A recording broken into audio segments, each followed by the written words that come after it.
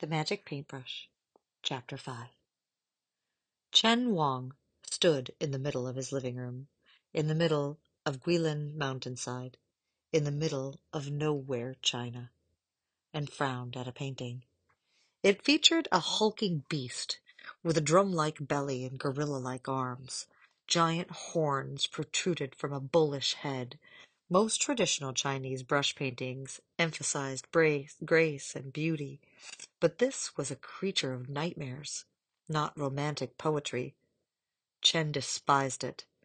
He was fifteen hundred kilometers from home and still hadn't escaped the ugly thing.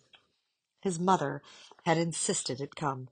She'd shipped it ahead of him along with the furniture, so that by the time he arrived it hung in a place of honor, waiting for him like a slap in the face.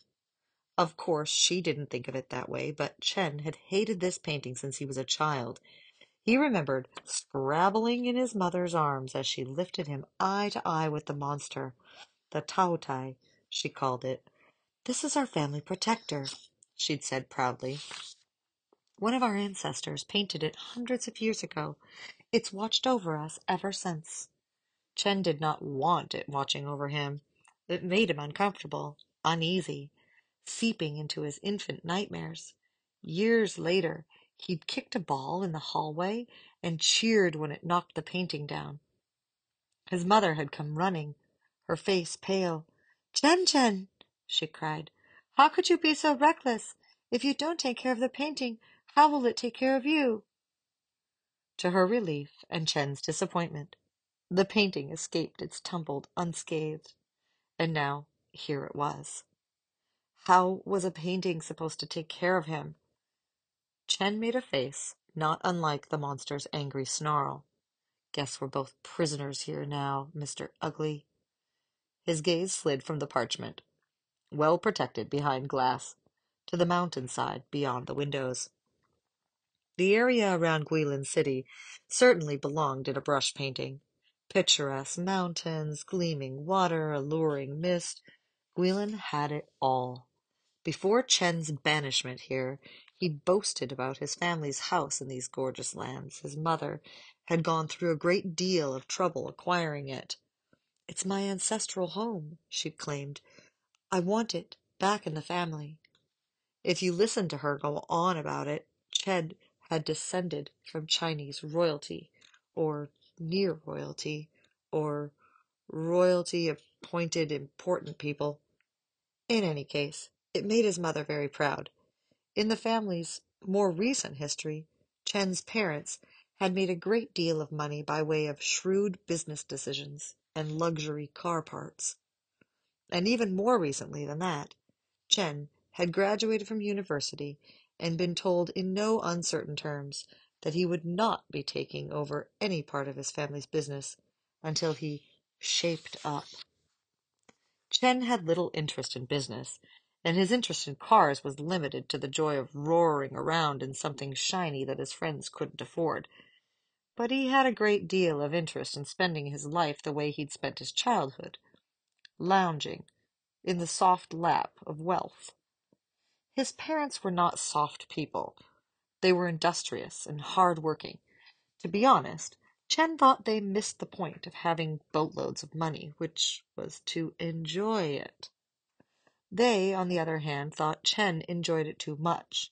The tabloids agreed and eagerly published spreads of him partying in the colorful streets of Shanghai, Beijing, Macau, Hong Kong. Well, the list went on. For years, Chen's parents had to put up with it. Oh, sure, they'd nagged and threatened, but they hadn't actually done anything. Until a few weeks ago when a particularly scandalous story surfaced in the news. Alcohol, raucous partying, and exotic zoo animals didn't mix. Who knew? That apparently had been the last straw, because they'd shipped him to Guilin. And not even to the city, but to this house in the far outskirts. He had nothing to do but putter around the rooms, he spoke with no one but the woman who came to clean and cook, and he barely spoke with her. After the constant lights and bustle of Shanghai, the quiet suffocated him. Until the tabloids get distracted by the next story, his father had said. Until you shape up, his mother had sighed. Until he died of boredom, more like. But, cut off from his parents' funds, he had no other option. He glanced at the painting again. Maybe he could find a way to accidentally destroy it. The trouble was the protective casing. Chen was pretty sure he could launch a missile at the thing and the painting would still be pristine. He tapped his knuckles experimentally on the glass and frowned when he felt warmth emanating from the scroll. He pressed his hand against it. Definitely warm. And what was this? Something pushing back at his fingertips? Something emerging? Chen snatched his hand away. Fear transformed his legs into jelly, but he couldn't stop staring.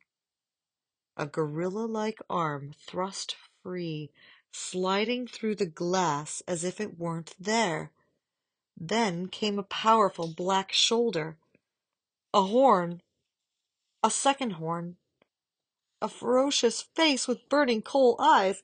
Bit by bit, the monster dragged itself into the world. It was a hundred times bigger than the original painting, towering over Chen, casting him in cold shadow. Its jaws worked silently, showcasing jagged teeth and pale gums. Chen dropped to his knees. He shook like a leaf. Don't, he stuttered, holding out his hands. Terror limed his words to his throat. I, I. The monster roared.